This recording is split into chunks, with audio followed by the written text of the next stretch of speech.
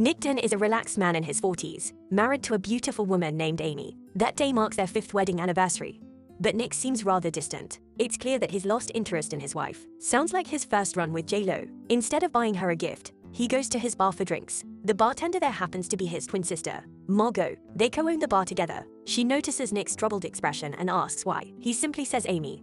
And the story takes back to the night they first met. Amy, a famous quiz writer, organized a book launch event, and Nick was one of the attendees. They met by chance and bonded over their love for books. Nick was a writer too, though for a small men's magazine. While Amy was beloved by many, they spent the evening exploring the streets of New York City. And Nick's charm and good looks won Amy over. They ended the night with passionate lovemaking. In the present, as Nick continues his stories, he receives a call from his neighbor about his cat being outside. He rushes home to retrieve the cat and finds the front door open. He calls out for Amy but gets no response. He searches the house and discovers a broken glass table, which alarms him. Prompting a call for help, Detective Rhonda arrives with her assistant. Investigating the scene, she finds odd blood droplets and, upon seeing Amy's books and recognitions, treats her disappearance as a high-profile case. Later, they all head to the police station, where Nick undergoes tests. Detective Rhonda assures him that they'll find Amy, tracking her credit cards, analyzing forensic evidence, and planning a press conference to seek assistance. Strangely, Nick finds this all amusing. This raises Detective Rhonda's suspicions, so she begins to question Nick. However, Nick struggles to provide answers. He doesn't know Amy's blood type, her favorite food, or even her nickname. All he can say is that Amy didn't have friends and spent most of her time reading books. Honestly, this is pretty much my life with no friends. Moving on, another flashback of Nick and Amy's first marriage anniversary when they were happily in love is shown. They shared public displays of affection and exchanged lavish gifts. Little did they know that their lives would take a turn for the worse. Back in the present, as Detective Rhonda investigates the crime scene, a pregnant woman named Noelle appears, claiming to be Amy's best friend. She lives nearby and has been close to Amy for over a year,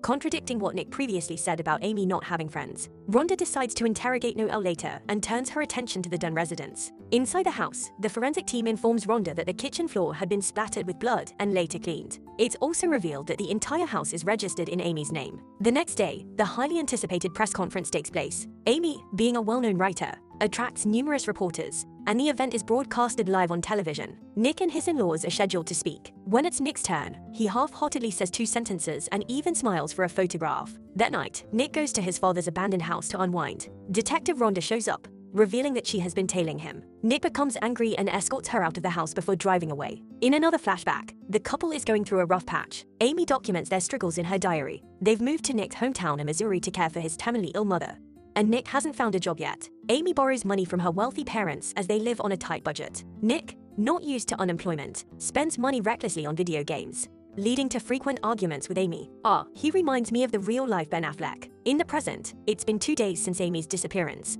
Her parents are organizing an event to gather support and search for their daughter.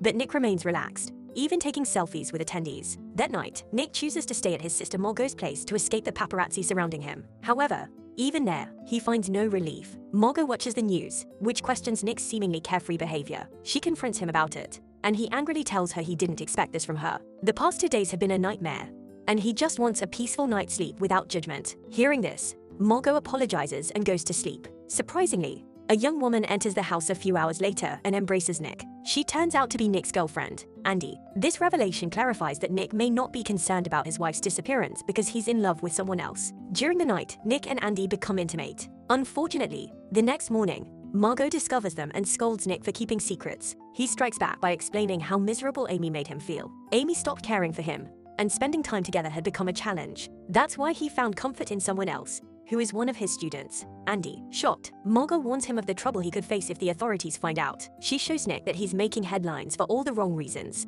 In another flashback through Amy's diary, it's revealed that she wanted to have a child with Nick, hoping it would mend their ongoing issues. However, Nick strongly disagreed with the idea, leading to an argument in which he accidentally pushed her, causing harm to Amy. While he apologized non-stop, Amy had reached her breaking point. From that day on, she feared for her life and wanted a divorce. However, she knew Nick wouldn't leave her because he wanted her parents' money. In the present, Detective Rhonda receives the forensic report on the blood samples found around the house, confirming it as Amy's. That night, Nick is asked to address a large crowd of Amy's supporters. Suddenly, Amy's supposed best friend, Noelle, appears and accuses him of hiding things. After getting the crowd's attention, she discloses that Amy was actually six weeks pregnant when she disappeared. This revelation shocks Margo, Andie, Amy's parents, and everyone in the crowd. They turn against Nick, but the police escort him away to safety. Later that night, Nick, while drinking at home, is confronted by Detective Rhonda with a set of photographs. These photos prove that Amy and Noelle were indeed close friends. Rhonda also informs him that the blood in the kitchen belongs to his wife. She concludes that Amy was murdered and only needs to find her body to confirm her theory and potentially arrest Nick. Once Detective Rhonda leaves, Margo questions her distressed brother about Amy's pregnancy. To their surprise, Nick reveals he had no knowledge of it as Amy never wanted to have a baby. At the same time, Detective Rhonda searches Nick's father's house for clues and discovers Amy's half-burnt diary in the furnace. Although she doesn't find a body, this diary raises questions. The story then comes to the day of Amy's disappearance, revealing that Amy herself orchestrated the entire incident. She carefully planned everything to frame her husband for a crime. From Amy's perspective, Nick took everything from her by lying, cheating, and ruining her pride and money. The story then unfolds how she staged the whole scenario. At first, she secretly befriended their most foolish neighbor and invited her home. Amy, aware that Noelle was pregnant, cunningly took her urine sample to create fake medical records at a local hospital. She also filled Noelle's mind with falsehoods about Nick's alleged abuse. Concerning the crime scene, Amy drew blood from her hand and spread it across the kitchen floor, then carelessly cleaned it to leave behind traces for the police. Finally, she fabricated stories in her diary and left it for the authorities. This implies that Nick never harmed her. In truth, she was the one who deceived everyone. As Amy drives away in her car, she reveals she began planning the night she caught Nick cheating on her. In another part of the story, Nick becomes increasingly convinced that his wife is plotting against him. Lacking evidence, he decides to seek legal counsel from Tanner, known as the smartest lawyer in the country. His last name is probably made. Tanner swiftly advises Nick on a few key strategies. To win the case, Nick must first win the public support by tarnishing Amy's reputation. The initial step involves finding someone she wronged in the past and obtaining their testimony. Nick knows just the right person for this. Before Nick, Amy was in a relationship with Desi Collings, a wealthy man from New York. Initially, they seemed like a perfect match due to their high standards, but Desi grew possessive, leading to their breakup. Even after their split, Desi continued to pursue Amy, causing her to file a restraining order against him. To this day, he still sends her letters. Nick uses the address from one of these letters to visit Desi's mansion. Unfortunately, Desi is unwilling to speak about Amy. Despite everything Amy has done to him, he remains protective of her. Meanwhile, Amy has lived with her new identity and resides in a quiet neighborhood, avoiding interactions with others. However, one day, she accidentally drops a thick stack of money, which a few neighbors notice. That night, those people attack her and steal her money, but they remain unaware of her identity. Fearing more risk, Amy decides to pack her belongings and leave the area. Without a place to stay, she reaches out to the only person who unconditionally loves her, Desi Collings. The two meet at a casino, where Amy skillfully manipulates Desi. She fabricates a story about being forced to flee her home due to Nick's threat to her life. She claims she cannot return because the entire nation would view her as a coward. Desi readily accepts her story and sees it as an opportunity to reconnect with her. So, he escorts Amy to his secluded private villa equipped with surveillance cameras, assuring her that she won't be discovered. Elsewhere, when their initial plan fails, Tanner advises Nick to go on live television and confess to his extramarital affair. This, he believes, will earn Nick sympathy, as people generally appreciate honesty. However, on the day of the interview, they face a major setback. Nick's girlfriend, Andie, breaks the news herself, putting Nick in a risky position. Tanner explains that they are now at a disadvantage, and going live on television would be highly dangerous. But Nick assures him that he can handle it. He appears on the interview set, wearing a serious expression,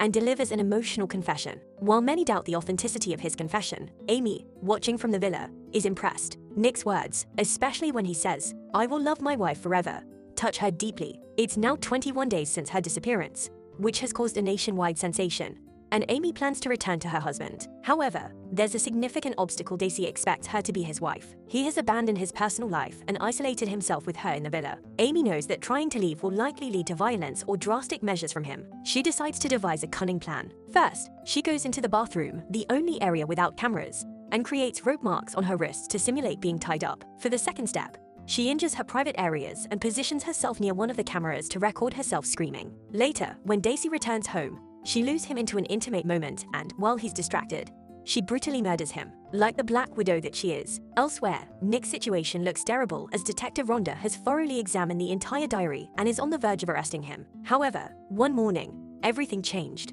Amy appears outside the house, still bearing Desi's blood. This dramatically alters the course of the case, transforming Nick from America's most hated man to an innocent one. In the evening, doctors examine Amy and conclude that she has been mistreated by Desi. Nick suspects she is once again deceiving everyone, but he lacks evidence to prove it. In front of various officials, Amy narrates her traumatic story. She describes how her excessively possessive ex-boyfriend, Desi, abducted and held her hostage for several weeks. The news spreads like wildfire, And once more, Amy becomes America's beloved victim. With the exception of Nick and his sister, Margo, everyone believes her fabricated story. As the story ends, the couple comes back to their home. Nick sees Amy as a killer, but she defends her actions, claiming she did it all to be with him again. However, after all the chaos, Nick is scared to stay with her. He gathers the courage to express his decision to leave. But Amy threatens to destroy his life if he dares. Plus, she's pregnant. Nick accepts his grim reality, understanding he's trapped with this unstable person. The movie ends with him putting Amy to sleep and locking her in a room from the outside, signaling his lack of safety and comfort in his own home. What did y'all think of this twisted movie? Amy is truly a Black Widow. I kinda think she's iconic for it. Subscribe to watch more videos like this. Turn on notifications. And leave a like it really helps the channel out. Thank you for watching.